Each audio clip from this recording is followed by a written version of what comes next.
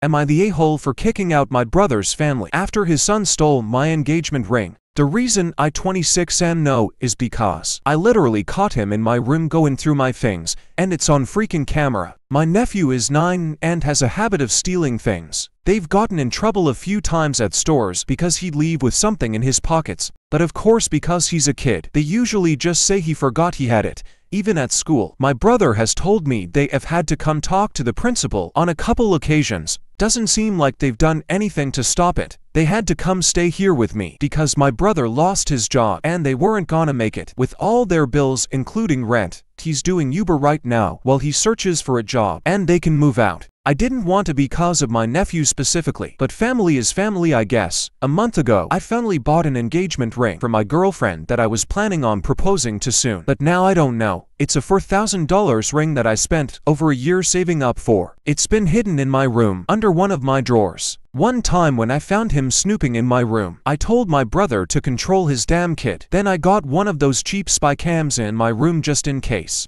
Then last week, I noticed it was out of its box. After checking the cam footage, it showed he was in there again when I wasn't home. My brother and his wife have yelled at him. He says he left it by the TV in the guest room but it's not there. They looked through all their stuff and his too. I know for a fact he's lying about not having it because that's the same thing he said about one of my watches he took and ended up finding it. By the second day, my brother tells me they can't find it at all. I told him either they find the ring or he repays me the $4,000 I spent on it. If not they can't stay here anymore. My brother got really upset. He told me I know how their situation is right now, and yeah, it's a tough spot, but I couldn't ignore the fact that his kid he can't parent took something extremely important to me that costed a lot of time and money. They were given a week to leave my house. If they don't find the ring, they're having to stay at a cheap motel. But my brother won't stop begging to come back because what they're paying right now each night is coming directly out of their savings. He won't stop calling me heartless about letting something like this come between helping them out through a difficult time. And my nephew keeps saying he's sorry. It's just hard right now to want them around. Don't even know what to do about the ring. And every time I think about it, it just makes me so mad that it's hard to care about their situation. Am I the a-hole for doing this to them? Here are the top comments, plus OP's reply. File a police report and take them to small claims. You have the proof on camera, not the a hole.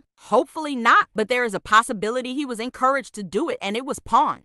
Nobody knew I got a ring for my girlfriend. It's been hidden in my room before they even came to live with me. It just seems odd that the ring is now gone. I know kids lose things because they put them in our places. Just knowing your family is financially in trouble, although I don't know them personally, it wouldn't be inconceivable that they might have sold it.